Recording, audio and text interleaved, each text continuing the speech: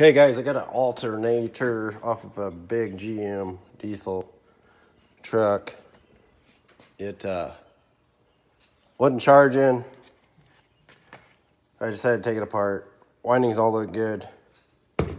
Brushes, so-so, but uh, I believe the uh, diodes in here a bit bad. So I'm gonna go ahead and try to get those fixed. I do have I'll supply that number of the alternator in the link below. Got the diode there. And a new brush set. Costs like probably 20 bucks total. Not bad. Got that pin there so you can pull the pin out after you get the brushes and the uh, brush surface on there go ahead and get these changed out here.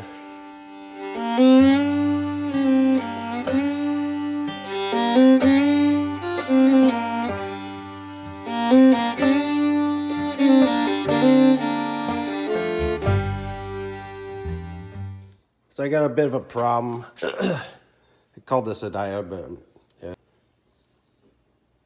There's my issue. I'm gonna put this back in, assuming brushes are bad because this brush is chipped off.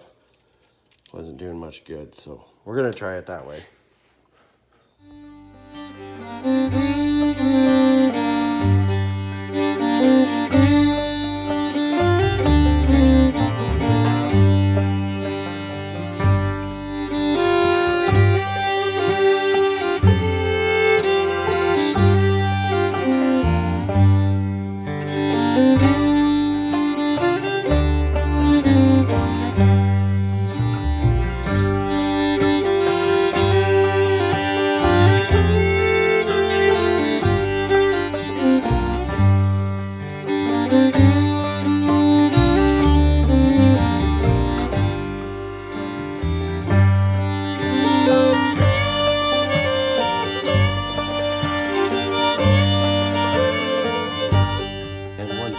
Important step.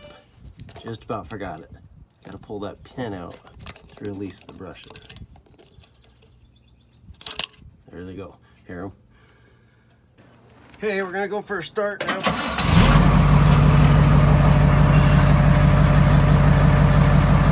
Okay, so showing 12.1.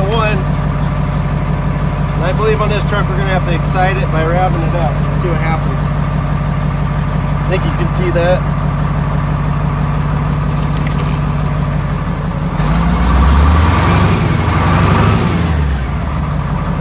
Okay, 13.6, so it looks like she's doing what she's supposed to do. Got one more test. Make sure it can handle it. Take the battery post off. She stays running. Yep. We're good. That fixed her.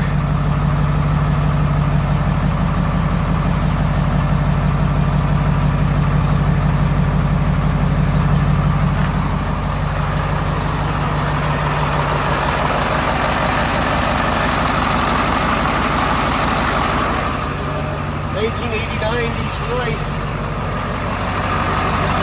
Finally got her done. All right, thanks for watching, everyone.